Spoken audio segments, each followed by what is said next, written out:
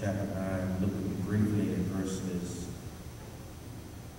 one through five.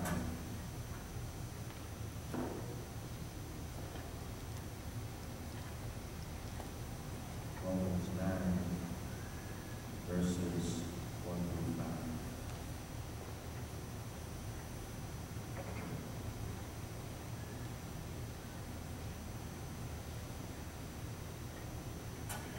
Trust that everyone has it.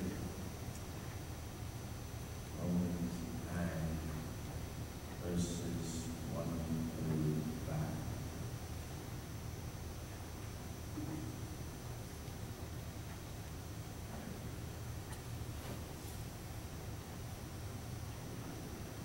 What about God reads like this? I am telling the truth in Christ. I am not lying. My conscience testifies with me in the Holy Spirit that I have great sorrow and unceasing grief in my heart. For I could wish that I myself were accursed, separated from Christ for the sake of my brethren, my kinsmen, according to the flesh, who are Israelites, to whom belongs the adoption as sons in the glory and the covenants, in the giving of the law, in the temple services, and the promises, who are the fathers, and whom and from whom is the Christ according to the flesh, who is over all, God blessed forever. Amen. I want to preach this morning from the subject, the hope of Israel. May I receive? Thank you very much, ushers, you're too kind. The hope of Israel. I'm telling the truth in Christ. I'm not lying. My conscience testifies with me in the Holy Spirit that I have great sorrow and unceasing grief in my heart. I could wish that I were accursed, separated from Christ, for the sake of my brother and my kinsmen, according to the flesh, who are Israelites to whom belongs the adoption of sons in the glory and the covenants and the giving of the law in the temple service in the promises who are whose are the fathers and for whom is the Christ according to the flesh who is over all God bless forever amen the hope of Israel Genesis chapter number 12 marks the beginning of the history of the history between God and his chosen people, the Israelites.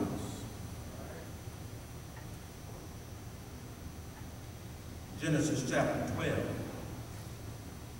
God calls a man by the name of Abram, whom he later names Abraham leave the comfort of his father's house and travel or migrate to a land that he would show him. In obedience to Abraham's, or in obedience to God's instruction, Abraham was assured by God that Abraham would bear a son with his, with his wife Sarah, despite the fact that Abraham's wife Sarah was incapable of having children. And although it would take God many years to give Abraham and Sarah the son that he had promised them when they were well stricken in years, when they were well up in age, God was found to be faithful to his word in allowing Abraham and his wife Sarah to have a son whom Abraham named Isaac. From Isaac would come Jacob. And from Jacob would come the 12 tribes of Israel. And despite the fact that the nation of Israel would spend 400 years in Egyptian captivity, God, being faithful to his promise to Abraham, raised up a servant by the name of Moses, who stood in the face of Pharaoh and boldly declared to let the people of God go. After a series of ten plagues, Pharaoh reluctantly let the children of Israel out of Egyptian captivity. Under the leadership of Moses, God led the nation of Israel to the brinks of the promised land. Just when it appeared that God was going to fall short of his promise once again, through the death of Moses, God raised up another servant by the name of Joshua, who would lead the nation of Israel across the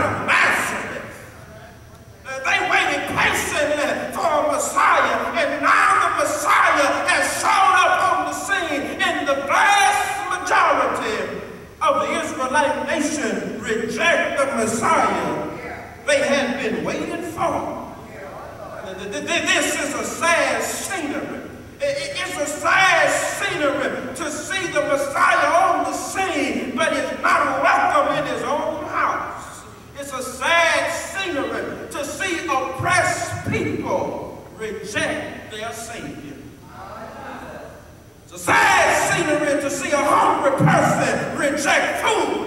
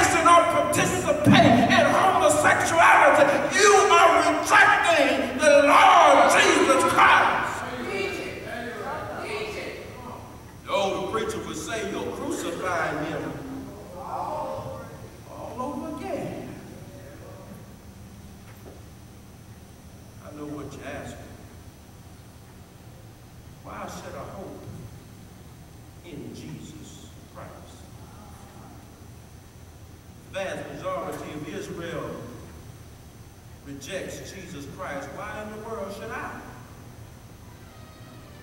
hope in Jesus Christ? Here, Romans chapter 9, verses 1 through 5. Holy Spirit makes known to us why it is both you and I should hope in Jesus Christ. Are you interested? First, both you and I should hope in Jesus Christ because Jesus Christ is the God of Israel. Yes, he is. Jesus Christ is the God of Israel. This speaks of the Trinity, the Father, the Spirit, and the Son. They are all equally God.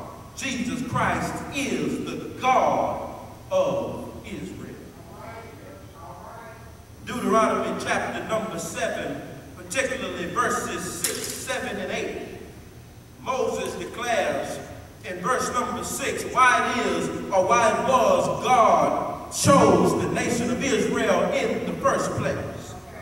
And in Deuteronomy chapter 7, verse number 6, Moses lets the nation of Israel know that God chose you to be his possession. But in Deuteronomy chapter 7, verse number 7, Moses declares, don't you get it twisted. God didn't choose you because you were beautiful. God didn't choose you because you were tall, dark, and handsome. God didn't choose you because you had it going on, but God chose you, Deuteronomy chapter 7, verse 8, because of his love.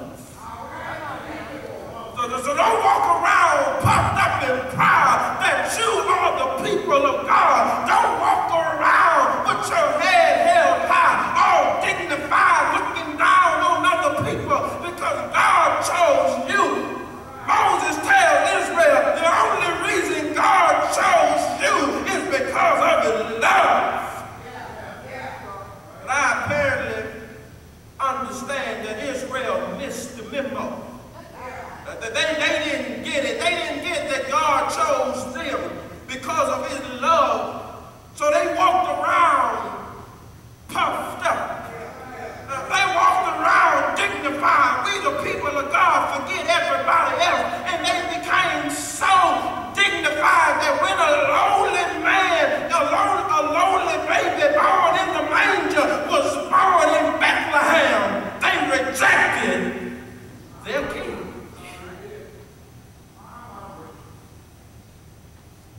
Despite their rejection, Jesus is the God of Israel. Paul recognizes how puffed up the Israelite nation is. For that reason, he lifts up his voice in Romans chapter 9, verse number 1. It says, I am telling the truth in Christ. Literally, I am telling the truth about Christ. I am not lying. Word lying here in the text literally means to be deceitful.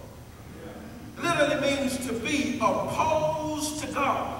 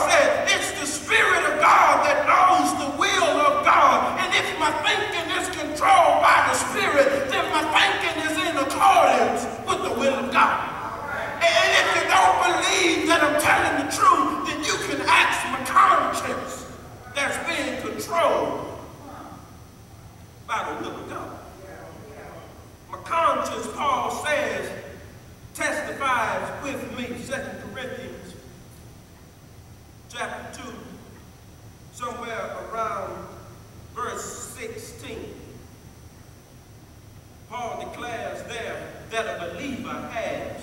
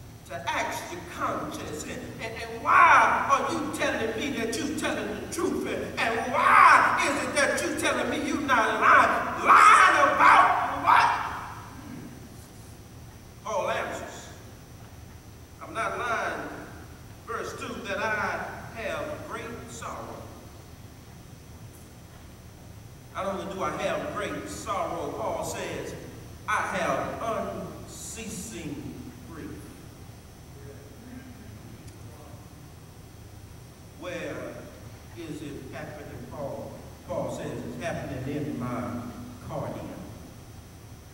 Word cardia is the Greek word for heart. It's happening in my, my heart. Essentially, great sorrow and unceasing grief are essentially the same thing. Paul uses the words side by side here to emphatically express the pain, the emotional pain that he is experiencing in his heart. Your heart, ladies and gentlemen, is where all of your thoughts, emotions, and everything that there is to know about you is stored inside of your heart. Paul says, I have great sorrow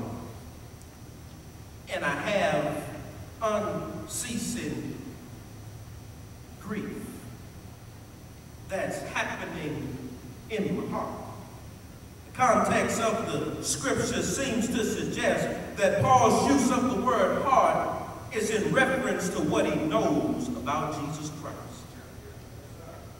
He says, my knowledge about Jesus Christ, hear me, causes me pain. Hmm.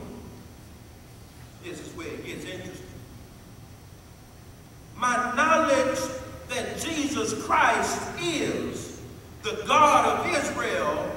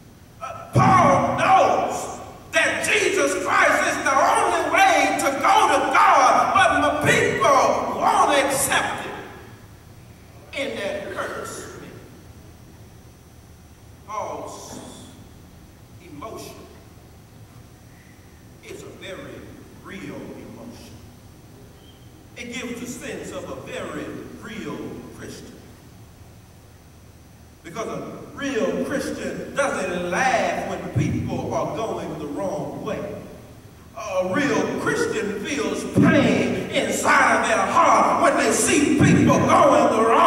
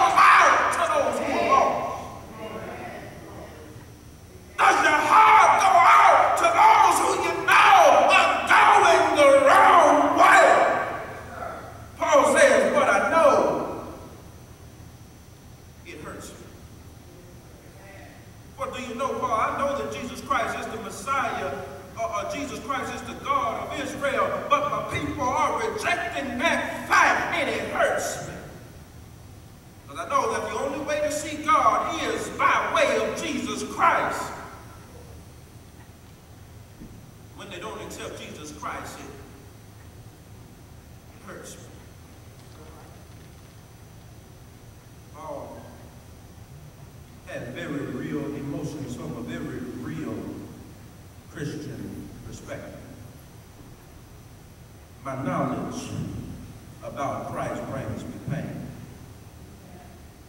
This is counter what we have been practicing. Sunday mornings we come and we rejoice about knowing Jesus Christ. Knowing Jesus Christ is something to rejoice about. But when you're standing in the spot that I'm standing in and you see people who you know not have a personal relationship with Jesus Christ and they never want to get one, Paul expresses my emotion. He says, it hurts. Or you have family members who you try to tell them, boy, you need to find you a church and you need to get a relationship with God. And they say, man, I ain't got time to go through all that. Paul said, it hurts me. It hurts me because I know that if you don't accept the Lord Jesus Christ, hell is your home. I, I know that that's not a word that we use in church anymore, but hell is a real place. And, and that will be your eternal home if you do not know the Lord Jesus Christ. This ain't in the script, but I just feel the sense to be real right up in here. Church is not just a place where you come to wave holy hands and smile and meet your friends and eat donuts and sip on coffee. No, no, no, no. But church is a place where you come to get in accordance with the Lord Jesus Christ so that you can have an eternal resting place in the presence of an Almighty God. When I look at people, see teaching and receive preaching and receive all kind of Bible application and it doesn't appear to be helping them in any kind of way. Paul expresses my emotion. Paul says it hurts. It hurts. You should hope in Jesus Christ because Jesus Christ is the God of Israel. Several years ago, there was a father who spent 20 years of his life in prison. He finally got released from prison. He a change. He got out and realized that he had a son. He decided he was going to invest all of his time in his son, trying to make sure that his son would not repeat the same road that he traveled. One day the father got a very sincere call that his son had just been charged in a murder. He went to the trial that lasted for several weeks. And the saddest day of the father's life was when the judge read the verdict from the jury that said, your boy will spend the rest of his life in prison. The father began to cry. When the reporter asked the father, what you crying for? The father said, I know what happens in prison. The father's tears were a result of what he knew in his mind based on the experience of his life.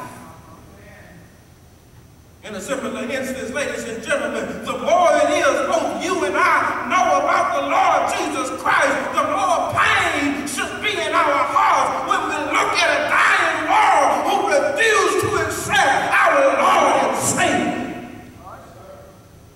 You got a cousin, aunt, uncle, brother, sister. You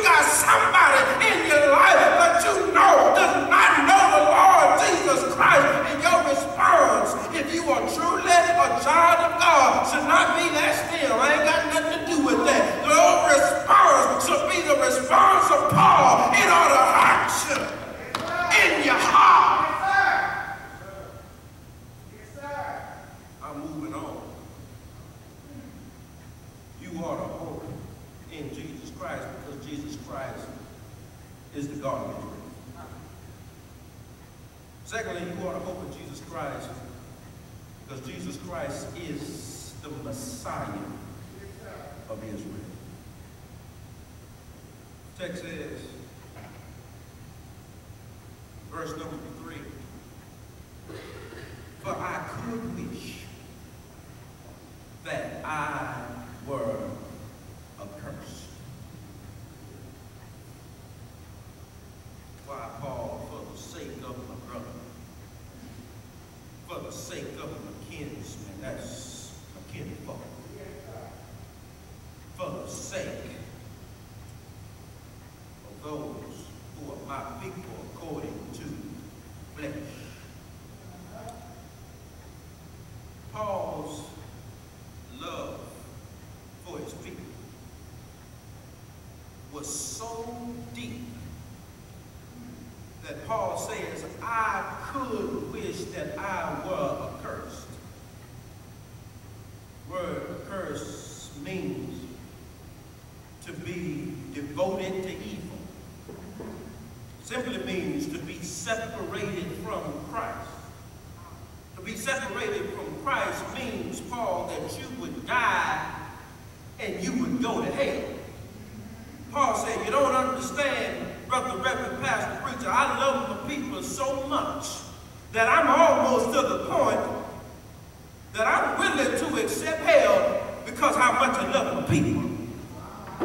Feel the tension of the text. Paul has a deep love for his people that he almost wishes bad things would happen to him for the sake of his people. But what keeps Paul from jumping off cliff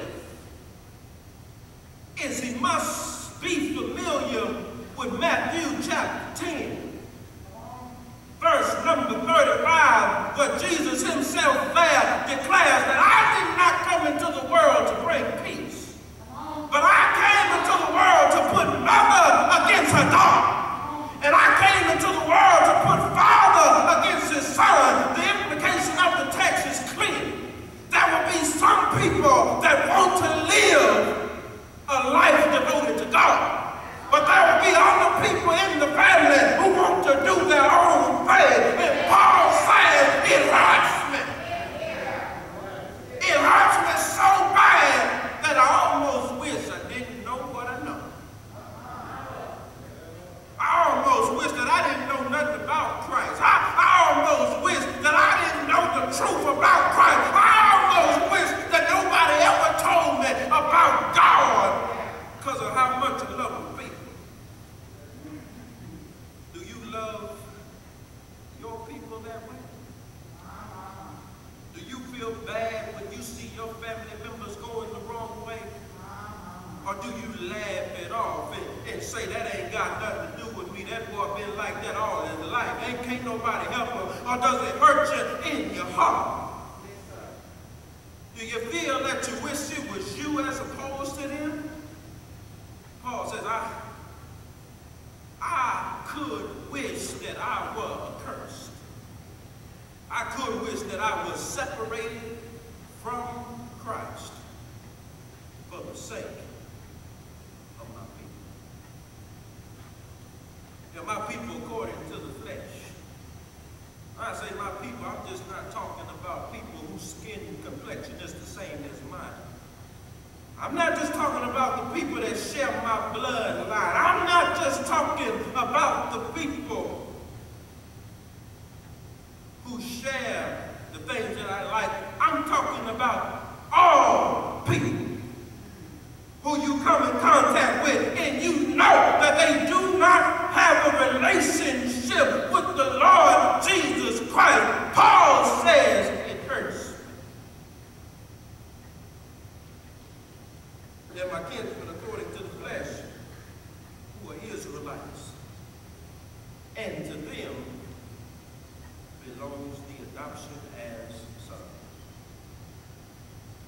Verses 4 and 5.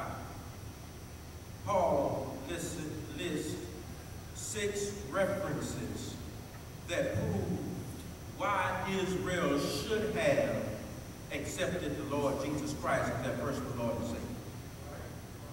It starts off by saying in verse 4 that to them was giving the adoption as sons. Several weeks ago, I explained to you the word adoption from the Roman perspective. We learned prayerfully that in order to be adopted from a Roman perspective, the person that was going to be adopted had to be dependent. Paul says, to them God adopted Israel as sons.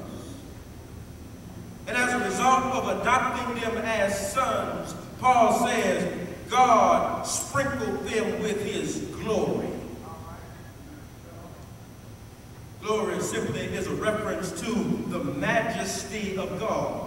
A beautiful picture of this is that of the prodigal son. The prodigal son leaves his father's house. He spends all of his money. He finds himself in a pig pen eating pig slop. When the prodigal son comes back home, there's no shoes on his feet. But what does the daddy say? That's my boy. Put some shoes on his feet. When God adopted the children of Israel as his son, he sprinkled them with his majesty. In other words, they began to look like the people of God. They began to walk like the people of God. They began to talk like the people of God. They should have known that Jesus Christ was their Messiah because God adopted them and shared with them a portion of himself. But not only that, God gave them the covenants, the Bible says. Covenants here refers to a united agreement. To give a person a, a, covenant is to enter into a relationship with that person. And the signing of the covenant was God giving the children of Israel the Mosaic law. Paul is simply suggesting here that Israel should have known that Jesus Christ was their Messiah because they had everything that they needed to prove that he was indeed their Messiah. He adopts them as sons. He sprinkles them with his glory. He gives them the covenant. He signs it by the Mosaic law. But not only that, he gives them the temple service. Temple service is simply the work of God. He gives them the work of God. He keeps them busy as they anticipate, it's in your Bible, the promises. God had promised them a Messiah. And he put them to work as they patiently waited the Messiah. And they had the law of Moses that told them everything that they should expect in the Messiah. And here Jesus comes on the scene and he is a perfect fit for what they already know, yet they reject it. Jesus Christ is the hope of Israel. Not only is he the hope of Israel, he is the hope of both you and I. Without Jesus Christ, ladies and gentlemen, hear it, there is no hope. If church is just something you do for fun, you in the wrong place. If church is just the place where you come to hear the preacher make that funny rattling noise at the end of his sermon, you in the wrong place. If place is just, if church is just a place where you come to sing because they won't let you sing in the nightclub, you done came to the wrong place. Church, a place where we come because we believe that Jesus Christ is the Son of the, of the living God that came into the world to redeem sinful humanity. He came through Israel. Salvation belongs to Israel and salvation belongs to the church by way of Jesus Christ. The church, theologically speaking, is not a replacement of Israel. That's called replacement theology. That's not biblical. Bible speaks about God raising up a nation that would provoke the nation of Israel to anger. That nation that, raised, that God raised up to provoke Israel to anger is both you and I, the church. But we can't overlook Israel because the, the, the Messiah came by way of Israel. I remember seeing all I've been trying to tell you in the short time that we spent together that you should hope in Jesus Christ because Jesus Christ is the God of Israel. Not only should you hope in Jesus Christ because Jesus Christ is the God of Israel, but you should hope in Jesus Christ because Jesus Christ is the Messiah of Israel. If you ever been to Disneyland, you would know that Cinderella, my childhood girlfriend, has her own castle. If you ever been to Disneyland, you would know that Cinderella has her own castle. One day at Disneyland, Cinderella's castle was filled with children and their parents. They were just running around the castle sightseeing, looking at this and looking at that. But all of a sudden, all of the children rushed to one side of the castle. You guessed it. Cinderella herself had walked in the room. How I wish I was there. She walked in the room flawless. And all the kids circled around her just to touch her and to have her touch them. Lord, I wish I was there. And she's touching the kids and allowing the kids to touch her. One side of the room has become empty except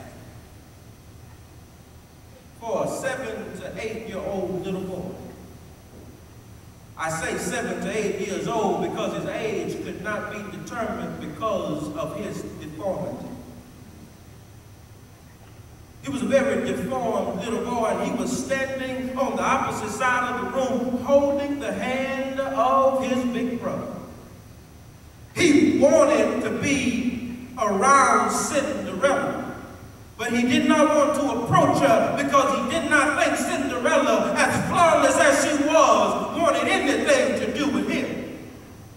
But to his surprise, Cinderella made her way through the crowd and she found the deformed little boy that was on the opposite side of the room and Cinderella leaned over and put her flawless lips on that little boy's deformed face.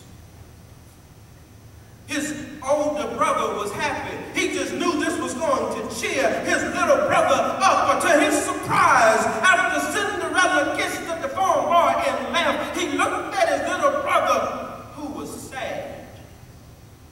And he said, Boy, what's wrong with you? Don't you know Climon would have loved to be here to receive that kiss from Cinderella? What's wrong with you? He said, she kissed me, but I'm still deformed.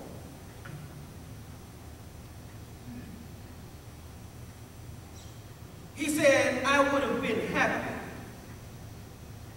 if she would have kept her kiss, took my deformity and gave me her beauty. Then that would have made me happy. Luckily for both you and I, Jesus Christ did more than what Cinderella did for that boy. Jesus Christ didn't just come and kiss us and leave. He came and he took our sinful nature